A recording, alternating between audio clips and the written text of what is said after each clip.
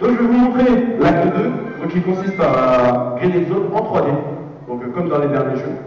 Donc avant, été retravaillé tout en, en adaptant le gameplay moderne. J'aime bien quand tu dis en adaptant. Là, moi, j'ai coupé la langue. Je ne suis que dans ta tête. Personne d'autre ne m'entend. T'es sérieux? Eh oui. D'accord,